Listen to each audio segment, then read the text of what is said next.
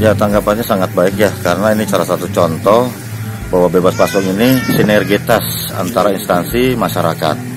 Ada Pak Camat, ada perangkat desa, ada perwakilan puskesmas, babinsa, koramil, polsek, dan masyarakat.